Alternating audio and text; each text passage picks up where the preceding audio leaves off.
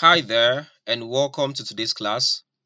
For today's class, we'll be looking at the experiment, experiment 4 of the chemistry practical manual and the topic here is volumetric analysis, alright? So you have all of this. Volumetric analysis comprises a number of techniques which involves basically the measurement of volume of some standard solution of known concentration. Alright, so uh, you could get all of this, this stuff here right i'll just jump straight into filling up the manual all right all right so when it comes to filling up the manual i think here it's like um the first part here all right this this is exercise one and this is like the first part you'd have to work on.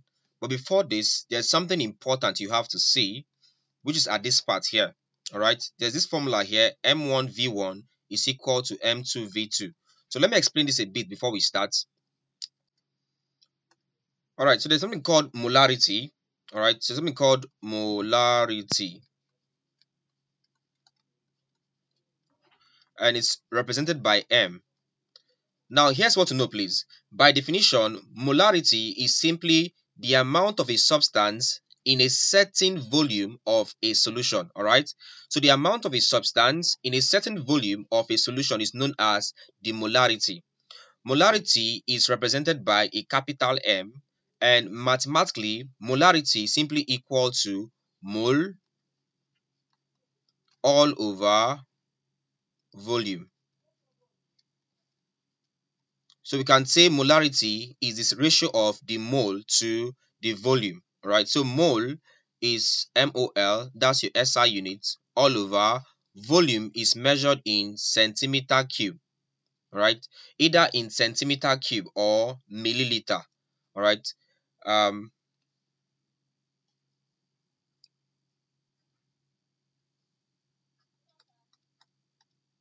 all right so volume is measured in dm cube.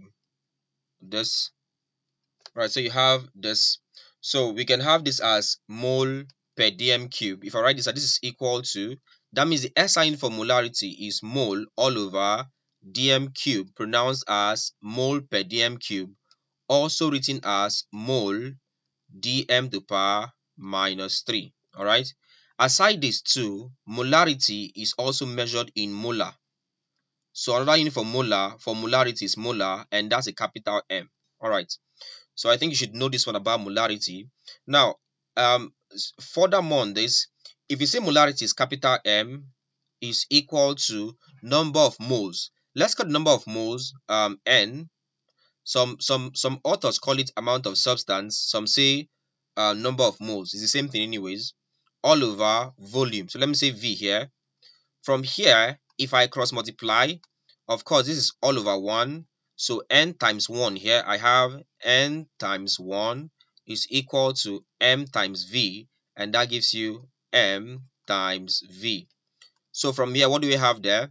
It means that n times 1 is n is equal to mv. So I have this very important formula when it comes to um, this topic that the number of moles is equal to the product of the molarity and volume. All right. All right. So with this taken, uh, let me come back to this. Now, what this formula means is this.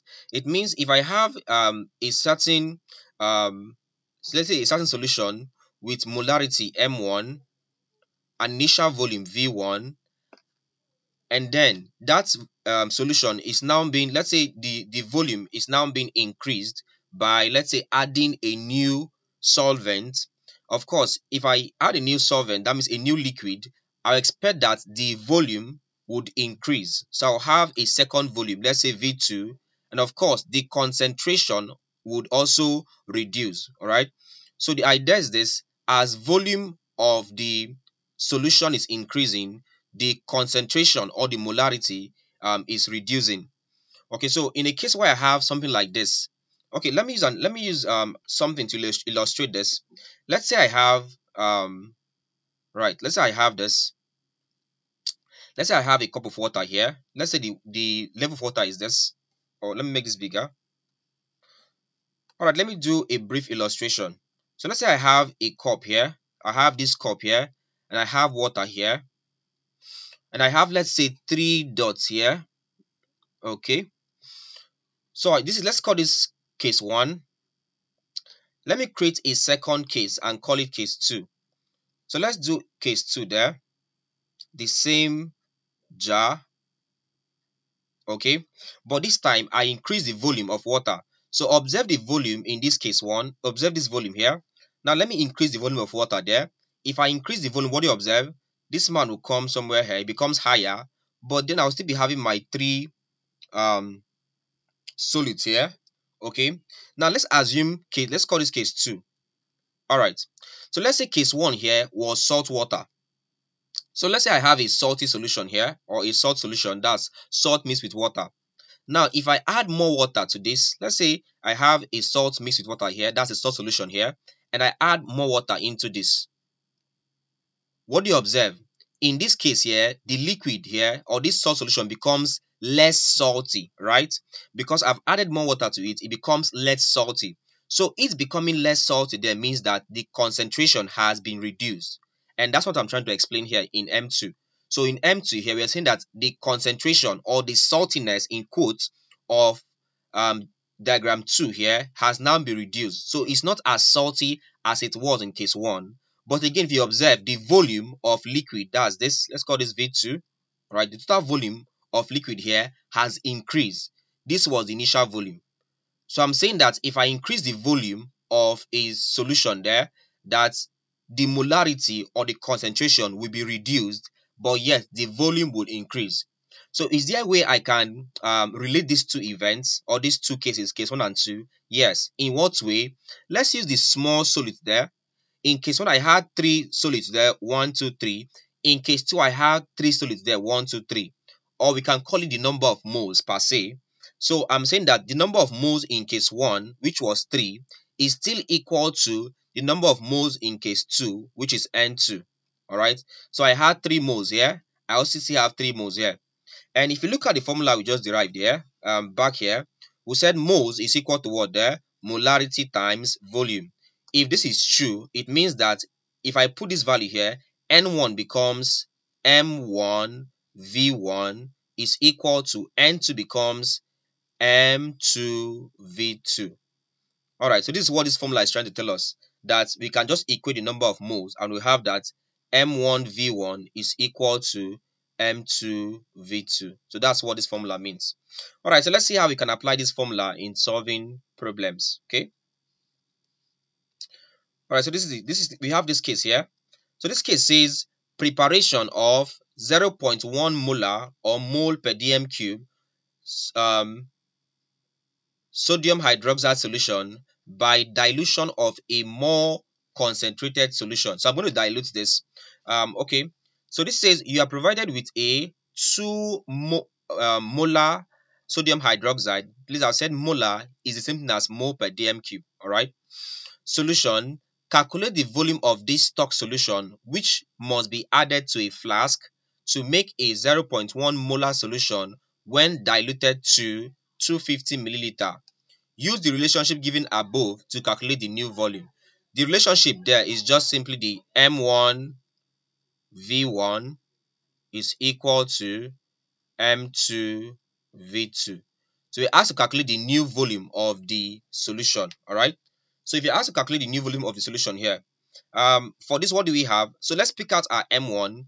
M1 is the initial um, molarity which is from here. They said you are provided with a 2 molar sodium hydroxide. That means M1 is 2M. So M1 is equal to 2M. Okay. Is there any V1? They said calculate the volume of this stock solution. Which stock solution? The stock solution of the 2 molar sodium hydroxide. So the volume V1 of M1 is unknown. So V1 is equal to unknown. Okay. Proceeding, they said, which must be added to a flask to make a 0.1 molar. So what do you observe here? We said when you add a um, solvent or a solution to this, what happens there? We said the molarity will do what there? Reduce. So observe that the molarity has been reduced from 2 molar to what? 0.1 molar or mole per dm That means the new um, molarity M2 is equal to 0.1 molar. Alright, so this solution, when diluted to 250 milliliter, alright, so it was diluted to, so the second volume, V2, is equal to 250 milliliter.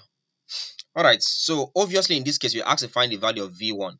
Let's recall our formula. So recall the formula, recall that M1 V1 is equal to M2 V2.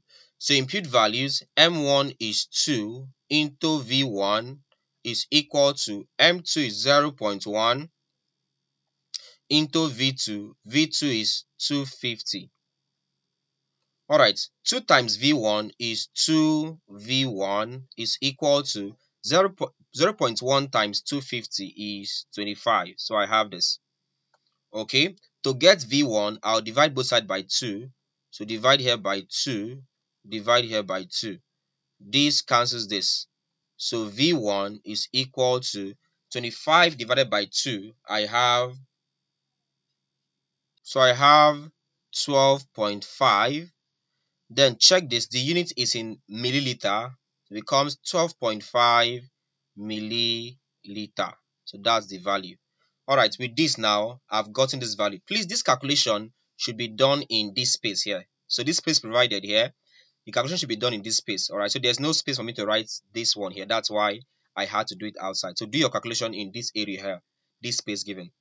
Alright, so I think this is like, uh, this is exercise one. So if you look at this is exercise one all right a second exercise. Let's look at the exercise 2 exercise 2 says standardization of sodium hydroxide in aqueous form by titration with 0.1 mole per dm cube or molar HCl hydrochloric acid all right I all right so let's look at how this works. I'm going straight to the um, parts where we are asked to fill up.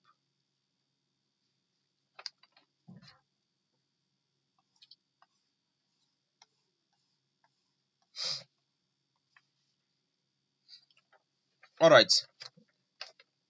Okay so this is the part here. So it's it's literally a titration practical all right? All right so for me we already did the practical so i'll show you what my own reading was okay?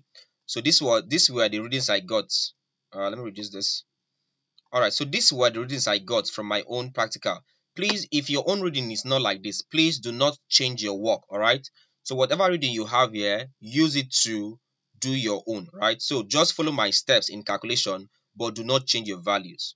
Okay, so this is what my own table looks like. And what's the first question here?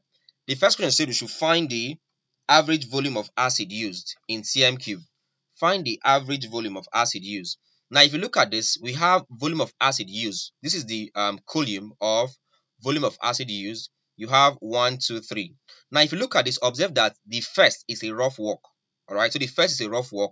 So when it comes to finding the average volume of the acid, I will only work with the second one, which for mine is 28.30, and the third one, which for mine is 28.90. So I'm saying that to calculate this, I'll say the average volume of acid used, average volume of acid used.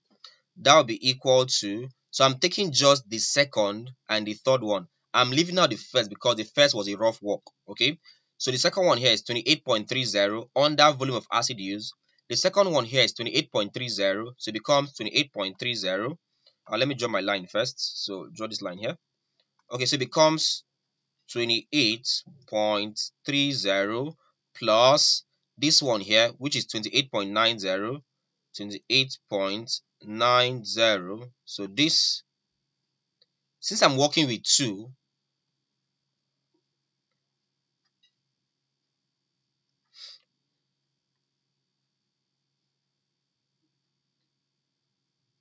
Alright, since I'm working with two values, I'll divide this by 2. Okay, so let's sum this to what do we have there? if I sum this, I have 28.30 plus 28.90. That gives me 57.2. So this becomes 57.2 as my numerator divided by my denominator here, which is what? 2. Alright, so let's divide this. What do we have? 57.2 divided by 2. I have 28.6. So that's equal to 28.6. The side should be in what there? cm cube. So cm cube. Alright, so the average volume of acid used is 28.6 cm cube. So I have this. So this is the solution to the first part. So the first part said we should find the average volume of acid used in cm cube, which we have just done. Let's look at the next thing there.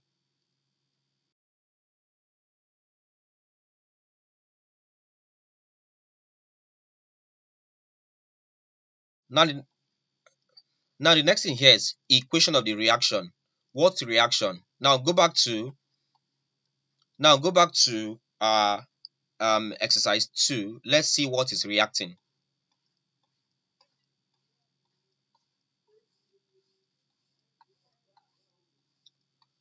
Alright, so if you go to exercise 2, you see that this is the standardization of sodium hydroxide by titration with HCl. So basically it's HCl, which is hydrochloric acid, combined with sodium hydroxide, which is a base.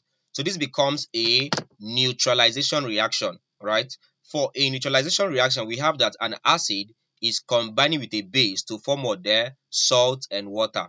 So let's get this man done.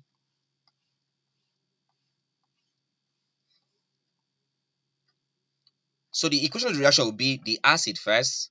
So HCl, this would be in aqueous form, plus the base, which is sodium hydroxide, also in aqueous form. So in aqueous form, to give what there? Salt and water. In this case here, the salt will be sodium chloride, your normal table salt, and this sodium chloride will also be in water, that's aqueous form, plus of course um, salt and water so H2O alright so I have this. My next task of course H2O is um, liquid or aqueous form whichever so I have this. Okay so this is the equation and not just equation but the balance equation of the reaction. Alright so you can see that on my left hand side I have two hydrogen the one before chlorine and the one after oxygen here. On my that's on my left hand side. On my right hand side I have H2 all right i have one atom of chlorine on the left hand side. On the right hand side i have one atom of chlorine. I have all right so you can see that it's a balanced reaction all right? Look at the left hand side the reactant. I have one hydrogen before chlorine and one hydrogen before oxygen. On the right hand side i have h2 there that's two hydrogen atoms before oxygen. So hydrogen is balanced. Same thing with sodium. I have one sodium on the left hand side one on the right hand side I have one chlorine on the left hand side, one on the right hand side. I have one oxygen on the left hand side of the equation and also one oxygen on the right hand side of the equation. So this becomes a balanced equation. Let's get molar ratio. So by molar ratio, I mean the, the, um, the coefficient of the reactants and products in a balanced equation. So since this is a balanced equation here, if I look at this, for HCl, the number here before HCl is should be 1, right? Since there's nothing there, it becomes 1. 1 is 2.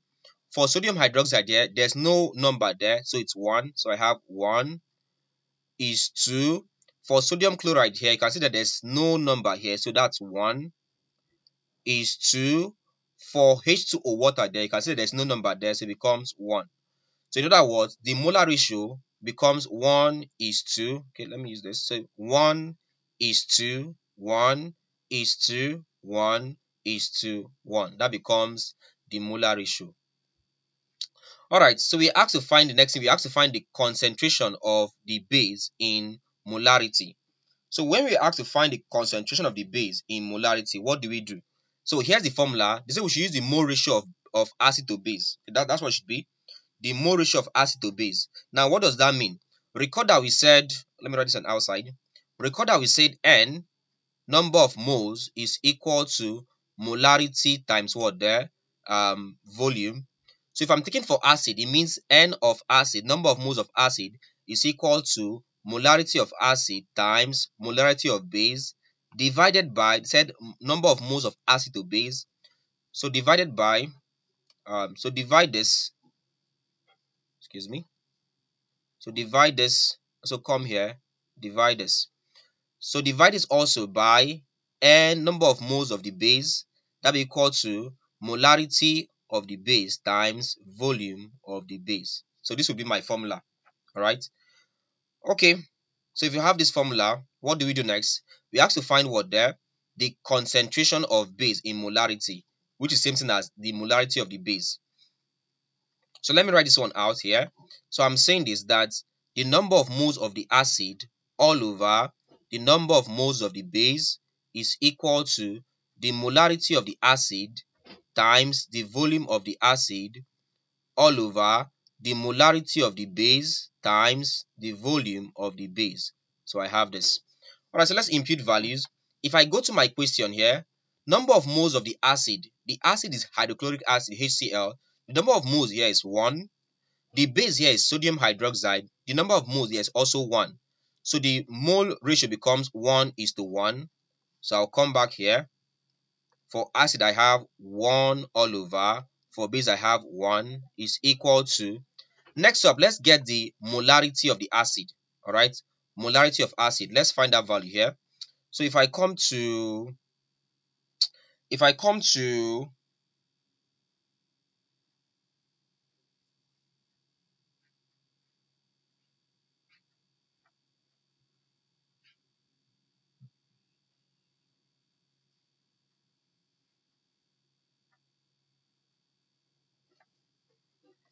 if I come to the question there, uh, let's see, go back to the question. Let's go back to the question there.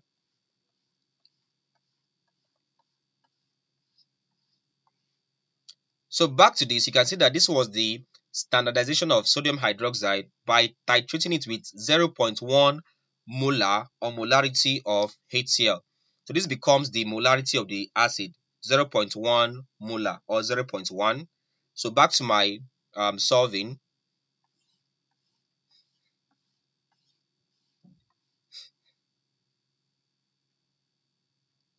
Alright, so molarity of the acid becomes 0.1 as shown there into volume of the acid. The volume of the acid is what we calculated here. Um, the average volume of the acid we calculated. Alright, which is this? We got our average volume of acid used, this as 28.6. So we're using this value again.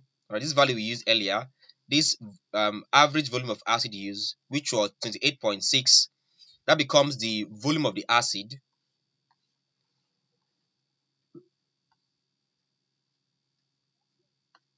Alright, so volume of acid becomes 28.6. 28.6, okay?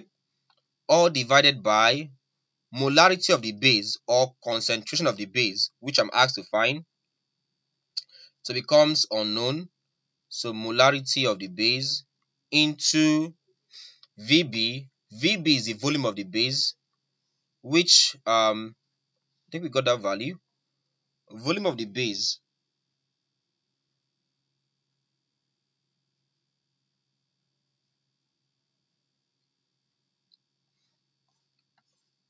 all right the volume of the base so the volume of the base, let me show you where to get the volume of the base. So if you come back to this question here, it says pipette 20 to 25 milliliter of sodium hydroxide. That was the instruction. So the volume of the base used here is 25 milliliter. Um, depends on the group. Some group could use perhaps 21 milliliter. So when you did your practical there, check the volume that your group used. For mine, we used 25, which was the mark because this in this experiment you're given the range of 20 to 25. My group we used 25 milliliter when doing the um, titration. So the volume of acid you use during your titration that becomes this. For mine, I'm using 25 here as instructed. So this is where I get my 25 as the volume of the base used.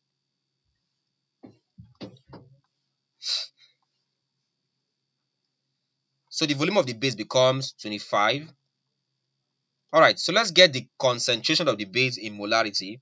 So my task here is simple. Do a cross multiplication. This times this. So becomes molarity of the base. Uh, excuse me. Becomes molarity of the base times 25 times 1 is equal to this times this which is 0.1 times 28.6 times 1. Alright, so let's multiply this here. I have 25 times MB, that's molarity of the base, becomes 25 MB is equal to 0.1 times 28.6 times 1 gives you 2.86. So I have this. Alright, my next task is to get the value of the concentration of the base, which I'll do by dividing here by 25 also divide here by 25. From here, this cancels this. It means that molarity or concentration of the base is equal to 2.86. So I'm having 2.86 divided by 25. And this should give you about 0 0.1. So I have this as 0 0.1 approximately. Molarity is in molar. So my answer is 0 0.1 molar. I have this as my answer. Alright, so come back and fill this. They said calculate the concentration of the base in molarity. Our answer is 0 0.1 molar. Alright, so M is already here. So 0 0.1. Next up, you're asked to find the concentration of the base in gram per dm cube. So how do you find that? That means I'm to convert my molarity from 0.1 mole um, from 0.1 molar to a value in gram per dm cube. How do I do that? Uh, the task is simple. So my task is this. I want to convert from what I have here is 0.1 molar. I want to convert this to a value in uh, what was there? Let me check this again. A value in gram per dm cube. Alright, to a value in gram per dm cube. So how do I solve that question? Then what do I do? Now, first things first, let's break it down.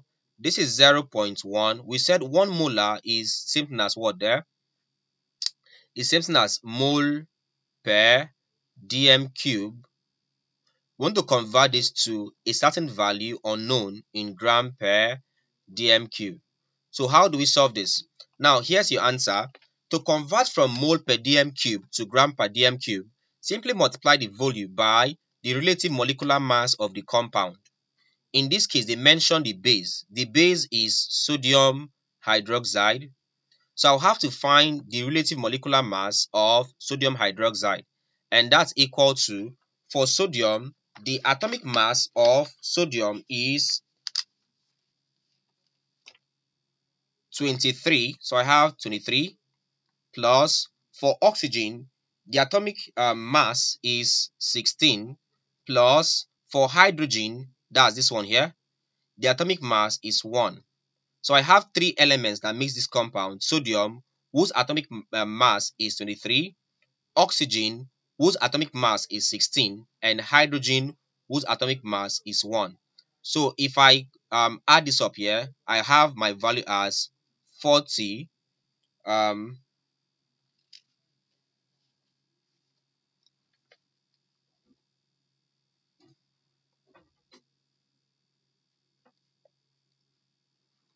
So it becomes 40 in gram per mole. Okay, so I'm having gram per mole. So if, if I look at this, if you observe this, observe that if I multiply, of course, the SI unit of relative molecular mass is gram per mole. Okay, so observe that if I multiply this value here, um, gram per mole, that's gram all over mole.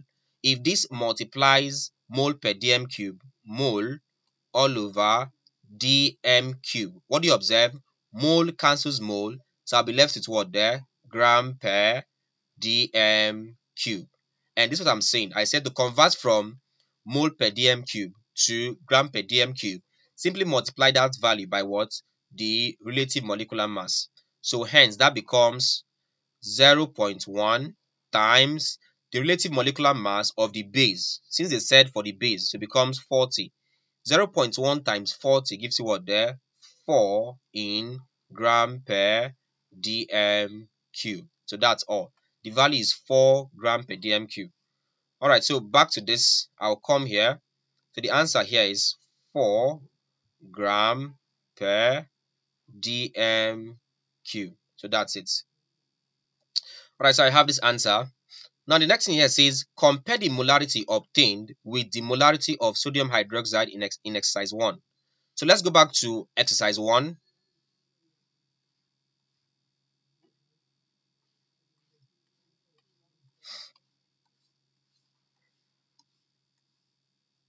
So if I look at exercise 1 here, um, from here we see that um, we were in exercise 1, we did the preparation of 0.1 mole, or that's molar, of sodium hydroxide solution. So in exercise, in exercise 1 here, the 2 mole or the 2 molar sodium hydroxide was diluted to 0.1 molar. So our final our final molarity here was 0.1 molar. That's in exercise 1. Meanwhile, in exercise 2, in exercise 2, I still have that the concentration of the base in molarity is 0.1 molar. So what do I say? What do you observe? Observe that they are the same. So you can say the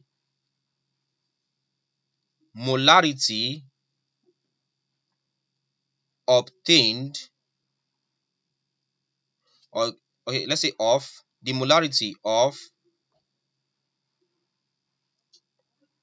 sodium hydroxide obtained in this exercise in this exercise is the same is the same as the molarity same as the molarity of sodium hydroxide in exercise 1 all right? In exercise 1 you can put the value there if you want which is 0.1 molar. All right? So this is the comparison. So the answer is that the molarity of sodium hydroxide obtained in this exercise is the same thing as the molarity of sodium hydroxide in exercise 1 right? In exercise 1 which is um, when I did my dilution. Now the next thing here is how accurately did you dilute the 3 molar sodium hydroxide to 0.1 uh, molar sodium hydroxide. How accurately did you do that? For my own mine was very accurate. So I can say very accurately right? Very accurately. That's how accurate. You can go to, you can still proceed by saying by adding, by adding, for, for my experiment, we added 12.5 milliliter of water, all right, of water. That's what we use. So for your own group, you can ask your group members if you can still recall the volume of water you use. For my for mine, we use um 12.5 milliliter of water to dilute it. All right, so this is the answer to experiment 4. All right, so we are putting in, in a lot of work to get this done. So please, you can support us by simply liking the video. All right, like the video. All right, um, leave a comment on this video. If you enjoyed it, please tell us you enjoyed the video. Also suggest other experiments would you also want to see.